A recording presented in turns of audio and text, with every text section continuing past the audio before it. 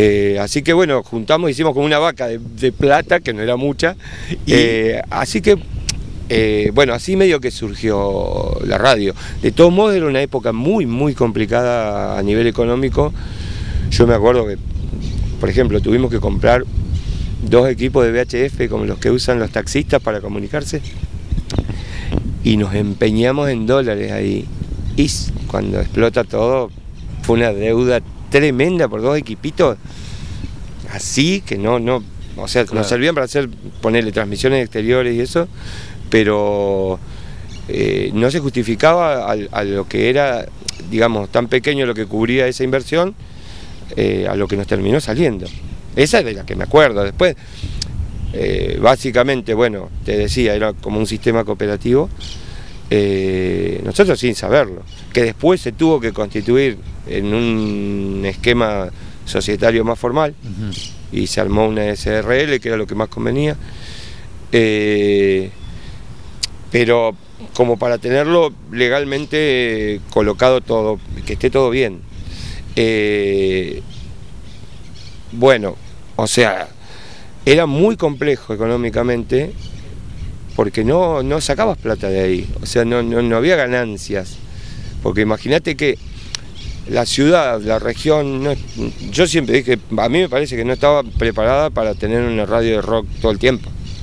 De hecho, nosotros cuando empezamos la programación... Sí, de hecho hoy es, es algo raro de, encontrar, salvo obviamente rastreando que hay por el tema de las multimedia que son más horizontalizadas, pero está bien. Hoy de hecho es raro imaginarse una radio que ahí tenés por ahí mucha más probabilidad de sostenerte o, o otra.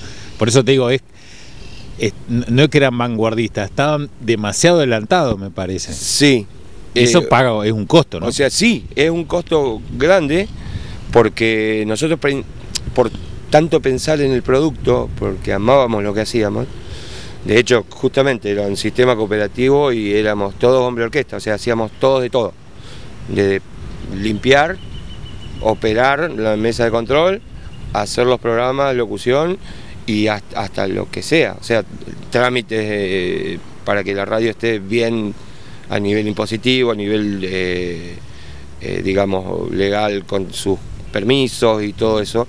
y esa cosa cooperativa, digamos que, que toda la plata que por ahí entraba por las primeras publicidades y demás se reinvertía en equipos.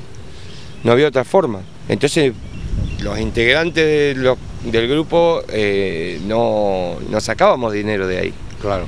Eh, bueno, de hecho, en mi caso personal yo dejé mi trabajo y dejé la facultad en quinto año. Para meterte ahí. Sí, porque me atrapó la radio y me quedé eh, ahí. O sea, por un lado, un desastre porque dejé una carrera en quinto año y por otro lado, hermoso, pues estaba haciendo lo que me gustaba. En mi caso, cada uno de los chicos tiene su historia particular. Una cosa hay que decir, la gran ventaja que teníamos era que todos, la mayoría vivíamos en la casa de nuestros padres, entonces digamos que teníamos la cama y un plato de comida asegurado.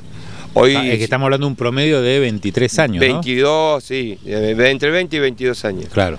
Había uno solo de los socios que era bastante más grande, que es quien finalmente nos hace el contacto con un técnico de acá de Neuquén, que es quien nos arma nuestro primer equipo. Eso ya en la calle Irigoyen. Sí, sí, eso en la calle Irigoyen que fueron los inicios.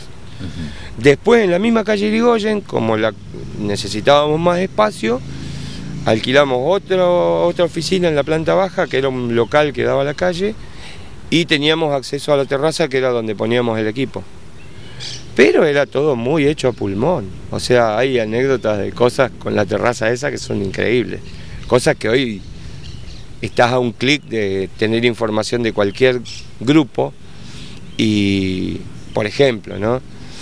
Eh, nosotros teníamos varios métodos de, contactarnos con la música nueva que eran muy rudimentarios, o sea, ponele, con mucho esfuerzo juntábamos plata y se la dábamos a alguien que viajara al exterior para que nos trajera lo que a él o a ella le pareciera que se estaba escuchando no sé, en Australia, porque se habían ido con una delegación deportiva de acá a jugar a revista. Traeme lo que veas en las bateas de discos, tráelo. Y un día cae un amigo con un disco de los Red Hot Chili Peppers, ¿viste? Y nosotros, así fue, ¿no? Claro. dijimos, ¿qué es esto? Es tremendo, pero no sabemos nada de estos tipos. Y en, la, en la- el sobre interno del disco decía una dirección y un teléfono a dónde comunicarse en California. Y decimos, vamos a llamar. ¿Y cómo llamamos una llamada internacional? No tenemos para pagar el alquiler, ¿entendés? Bueno, no hagan esto en sus casas. Eh, pero subimos a la terraza, eh, pinchamos un teléfono y llamamos a Estados Unidos. Y bueno, uno de Alguien hablaba inglés. Sí, sí, sí, uno de sí. nuestros compañeros eh, hablaba inglés bien fluido, se comunicó, dijimos que íbamos de una radio de Neuquén, en la Patagonia, en explicó Argentina.